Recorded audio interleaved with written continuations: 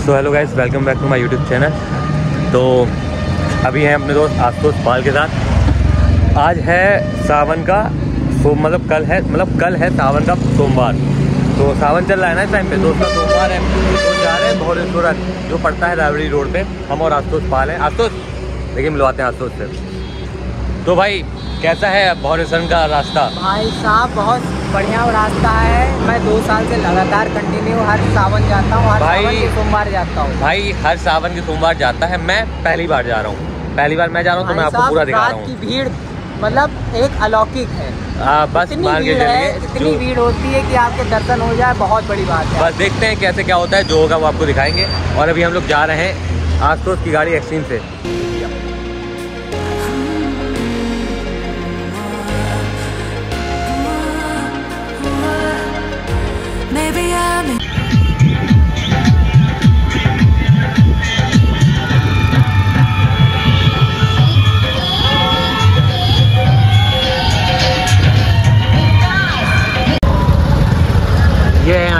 Parking देखिए एक, हम लोग मंदिर आ गए और ये इधर की दूसरी पार्किंग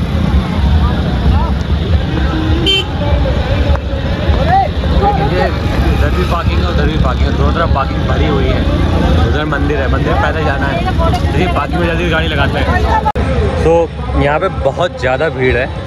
गाड़ी की पार्किंग लगा दी है गाड़ी पार्किंग में ये आसपास है। कुछ नहीं तो कुछ नहीं कुछ नहीं। बीस से पच्चीस हज़ार गाड़ी तो इधर ही दिख रही है इतने में। कुछ नहीं तो कुछ नहीं गाड़ियाँ बहुत सारी लाइए दिखा रहे हैं।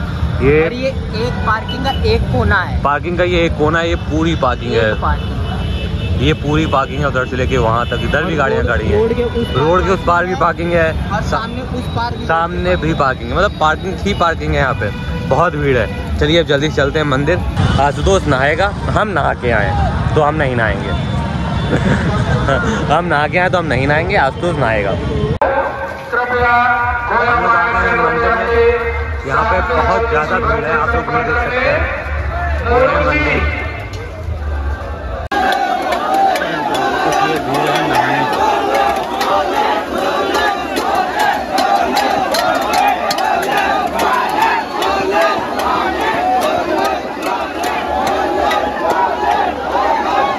यहाँ पे पूरी पुलिस की सिक्योरिटी भी है। तो ये भीड़ है नहाने वालों की।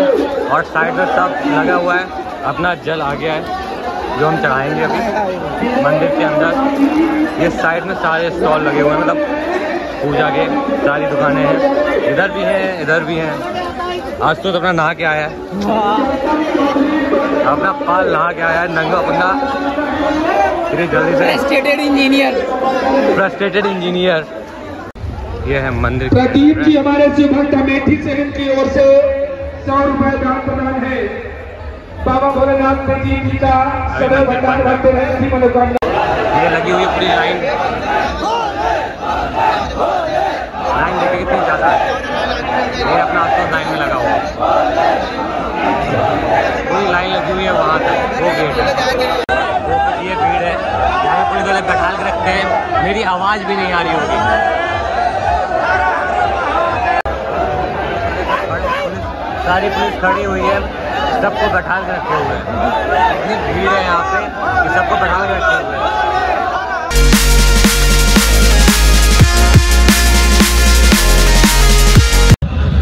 ये सब आप जो देख रहे हैं ना एक पार्किंग की गाड़ियाँ हैं केवल एक पार्किंग की।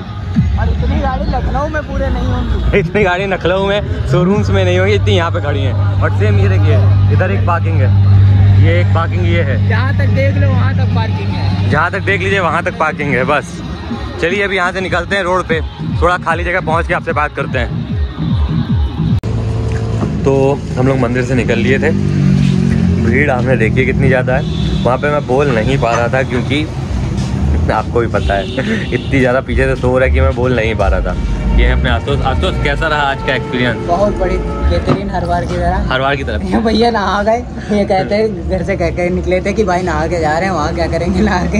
इनको भगवान ने नहला दिया। पूरा मैं रहा हूँ। ऐसा लग रहा था कि महादेव हम खुद हैं सब मेरे ऊपर जल चढ़ा रहे हैं। बहुत भीड़ है भाई। सच में यहाँ पे बहुत भीड़ होती है। केवल और केवल लड़के ही आते हैं बेसिकली और वो भी हम लोग की उम्र के मतलब यही 25 30 20 से 25 20 25 30 साल वाले। अब बहुत भीड़ होती है भैया, बहुत भीड़ होती है, बिल्कुल एकदम नहा गए। और मेरा आज तक ये था कि मैं मंदिर में भीड़ देखता था तो बाहर से माथा टेक के वापस आ जाता था। भीड़ में कभी अंदर नहीं जाता था। आज पहली बार ऐसा हुआ है कि मैं भीड़ में अंदर गया हूँ, मंदिर में अंदर तक गया हूँ। तो अभी पी रहे हैं चाय। ये गई बेसिकली चाय हमारी, आज तो उसके भी हाथ में उसकी चाय। चाय पीते हैं, फिर निकलते हैं घर। हाँ मज़ा आ गई लेकिन पहली बार भीड़ में। चलने की ज़रूरत ही नहीं पड़ी, लोग खुद ही धक्का दे के अंदर पहुँचाए हैं।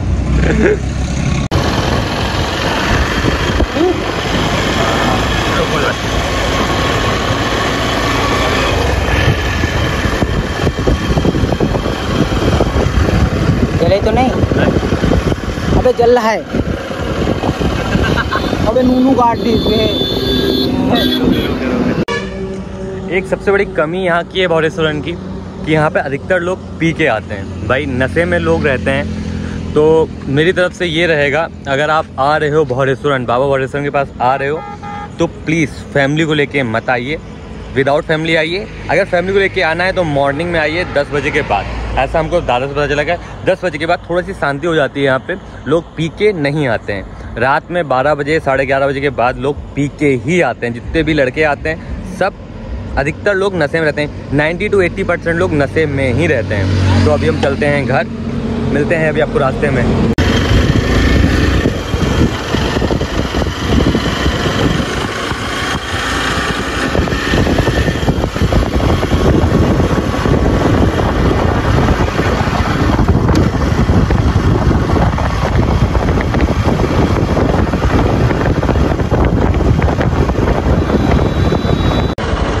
तो आ गए हम लोग घर।